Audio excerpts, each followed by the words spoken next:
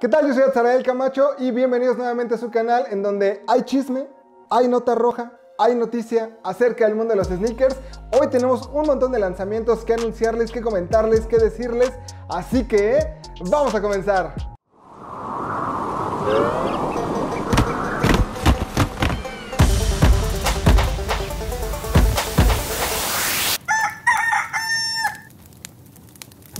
Tenemos montañas de información, así que relájese, amigo o amiga televidente, y vamos a comenzar con esto que dice así. Comenzando con Nike y Stussy, tenemos muy buenas noticias para ustedes de estas dos marcas. Lanzan el segundo capítulo de lo que es esta colección, bastante hermosa, muy ya veraniega, muy arrecha, muy bonita, muy lista para el verano. Esta colección incluye dos calzados bastante interesantes de los cuales vamos a hablar ahorita, unas sandalias y algo de textil para andar en la playita alegre. Para este drop fue elegido el calzado conocido en los años 2000, el legendario Kukini. Ya tiempo muy atrás vi una colaboración junto a Coca-Cola, la cual estaba muy chida, muy bonita, los colores rojos clásicos y negros en la parte de la malla de plástico. Sin embargo, hemos visto algunas colaboraciones o algunos lanzamientos posteriores en donde tenemos diferentes variaciones mucho más eh, adaptados a la parte de la suela con el Air Kukini y demás. Ahora llega un Air Zoom Kukini por parte de Nike por Stussy en dos colorways. En esta ocasión se vuelve a utilizar la misma suela del Zoom Spiridon, ahora aplicada a este par. El primero de ellos es este Zoom Kukini, el cual tiene una malla en color humo, una malla plástica, el par, toda la parte del upper es en color negro y tiene toda la parte del collar en color amarillo. El segundo de ellos cuenta con una malla blanca, el upper también totalmente blanco y la parte de dentro del par, la parte del inner, es ahora en color rojo. De las sandalias, por lo que vemos en algunas de las fotos de la colección, encontramos unas Bolt. Sin embargo, ayer la página Supreme Leaks sacó unas en color negro y unas en color rojo-naranja, vamos a llamarle. ¿Cómo se llaman estas cosas? Es que es un tracksuit, pero windbreaker. Sí, eh, como les decía, encontramos dos rompevientos con sus respectivos pants en algunos de los colores, ya sea rojo, naranja, ya sea volt o ya sea negro. Encontramos algunos shorts, algunas playeras, un bucket hat y como les mencionaba, algunas sandalias de la línea Benassi de Nike. El lanzamiento de esta entrega será el día 24 de julio a nivel internacional, sin embargo, no sabemos si va a llegar a México Hace unos días, una de las cuentas más famosas de leaks en la parte de los calzados de los zapatos-tenis, Han Su-ying, dio a conocer una de las primeras imágenes de lo que será el próximo Air Fragment Design. de lo que será el próximo Air Jordan 3 por Fragment Design. Sin embargo, ya hemos visto dos modelos anteriores de los cuales solamente nos quedamos en samples, uno como en tonos, vamos a llamarlo grises negros, y otro con algunos detalles en color azul. Sin embargo, al parecer será este en blanco y negro el color elegido para el público. Por otra parte, y continuando con el momentum del hype, tenemos el Jordan 4 por Off-White en color Sail, el cual ahora llega esta semana a la Ciudad de México. La tienda seleccionada para lanzar este gran calzado es Amy y estamos muy contentos de que llegue al país. Por supuesto, claro que sí, cómo no. El par llega en tallas de mujer, sin embargo, en la cuenta de Virgil Abloh, el director creativo dentro de Off-White, dice que probablemente el par llegue a tallas de hombre muy pronto. Y por si esto no fuera suficiente, el día de hoy nos enteramos por otra cuenta de estas cosas chinas, nos enteramos de que saldrá un Jordan 4, vamos a decirle Bread, también por Off-White, el cual pues, también está chido y también lo vamos a buscar comprar y nuestra alcancía pues ya no da para más.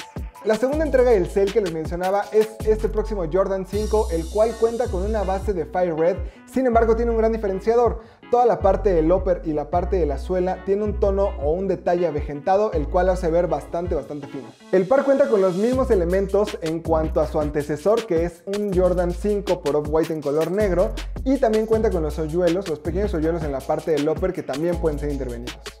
Por la parte del talón encontramos el clásico logo de Nike con el swoosh. en la parte del talón podemos encontrar el Nike con el swoosh eh, aplicado, el clásico logo, y en la parte del lateral trasero podemos encontrar el clásico número 23. Es posible que Doremon para muchos no sea un personaje tan relevante, sin embargo para Japón es una de las figuras o de los animes o de los mangas mucho más viejos y es un manga que cuenta la historia de este pequeño gato el cual viaja tiempo atrás para poder ayudarle a un pequeño niño y a su grupo de amigos a salvar muchas aventuras. No, no, no, no es que no es magia. ¿Es un robot? Es un robot que tiene cosas. No. Y viene del siglo 22 el güey. No. No, yo leí la semblanza y ya con eso. Si bien hemos visto un trabajo excepcional por parte de Reebok haciendo referencia a este pequeño gato, ahora es el turno de Nike Dunk, el cual presenta un par bastante, bastante sencillo y bastante bonito. Y fue Kevin Pérez quien nos mostró este modelo ya hace unos días en sus redes sociales, el cual si bien podría recordarnos el clásico Blue Ox de la misma línea de Nike Dunk, este modelo lo hace mucho más sencillo, mucho más clásico, utiliza los colores del gato y tiene una bolsita para guardar una memoria para tu cámara. Amigos, y si lo suyo es la apuesta, este es el mejor momento para poder apostar a partir de un dólar. Y es que la casa Sotheby's, la cual es famosa por poner a la venta un montón de cosas con hype, ahora lanzará el día viernes, si no mal recuerdo, un par bastante interesante que a muchos fans de Star Wars les interesa.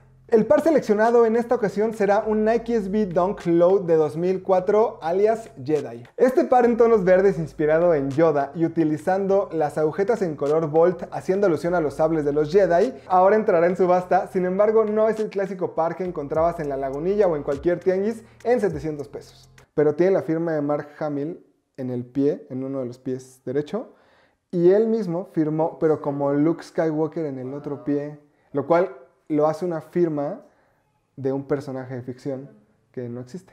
La puja estará a partir de un dólar, sin embargo se estima que va a estar alrededor de 20 mil a 30 mil dólares este par, así que amigos míos, abran sus carteras y su corazón. El señor Koji, quien es el director de Atmos en Japón, ahora nos da un pequeño preview de lo que será uno de los lanzamientos más limitados de la marca. Esta semana publicó algunas imágenes de lo que será el nuevo Sedex Arcane, que es un par bastante diferente, bastante interesante y muy bonito. El par cuenta con unos tonos en colores naranjas en colores cebras, los cuales hacen alusión a algunos animales. Ya sabemos que Atmos tiene esta afición y este gran gusto por los prints de animales y en esta ocasión lo aplican en este clásico modelo de Sedex. El nombre completo del par es Sedex Arcane Crazy Animal el cual tiene varios prints como ya les mencionaba y el tiraje de este par solamente se hará de 100 piezas en preventa para Japón. GC sigue haciendo de las suyas y en esta ocasión salen otros dos renders de lo que serán los próximos GC700 V3. Por un lado tenemos el Asrm Es que de verdad es S-R-P-H-Y-M. Serafín. ¡Uh! Surfing o Serafín será el nombre de este color que es bastante amarillo, lo cual no habíamos visto según yo en versiones anteriores. Es un color bastante chido, bastante cool, bastante vistoso. En la parte de afuera tiene un exoesqueleto de plástico, vamos a llamarle así, el cual está en un color transparente que ayuda a aligerar la carga de tono amarillo encontrado en el par. El otro de los colores es un poco más sencillo, es un Azareth, el cual tiene un tono azul, eh, un azul medio raro diría yo, no sé qué color realmente sea de azul, puede ser como la tapa del azul del Lysol. Y es este B3, el cual también cuenta con un exoesqueleto de plástico y en color blanco, bastante bonito. Y seguramente lo estaremos viendo en varios anaqueles alrededor del mundo. Dr. Martens, por su parte, ha tenido una gran, gran variación de versiones de su 1460 boot este año y no para con estos hitazos, señores. Si bien las botas no son de lo que hablamos generalmente aquí en el canal, estas menciones valen muchísimo la pena en su colección. Por un lado tenemos la versión de Pana Undercover, súper fina, Julio detrás de cámara la desea con toda su alma. Además de esta versión tenemos el otro ejemplo de Pleasures que combina un charol con piel eh, en un color mate bastante fina. Y en esta ocasión es el turno de Samuel Ross, quien es el director creativo detrás de A Cold Wall, para presentar su versión. Una versión mucho más futurista de esta bota hace que ahora no podamos ver la parte de las agujetas en la parte externa, sin embargo encontramos unas solapas y un cierre en la parte en medio. Además de esto podemos encontrar el logo de Acol Wall en la parte trasera, en la parte del talón de la bota. En esta ocasión, la costura clásica del 1460 que es en color amarillo, ahora se encuentra en negro sobre negro. La bota mantiene una esencia simple, una esencia bastante sencilla, sin embargo los detalles hacen mucho la diferencia. Esperamos que esta bota también la podamos encontrar en algunas tiendas alrededor del mundo que manden a México. Eso es todo por ahora amigos, yo soy Azarael, esperamos les haya gustado este video y las noticias de la semana. Nos vemos la próxima semana o en la semana con más, más, más información para ustedes. Cuídense mucho y nos vemos en la próxima. Cambio fuera.